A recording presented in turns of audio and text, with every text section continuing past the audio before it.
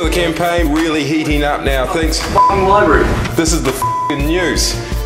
The biatch in the library, he tried to mess with Gower, but what you homies didn't see is real Gower power. He took the G out to the street and punched him in the dick. Man, he punched him in the dick. Do you wanna f with this?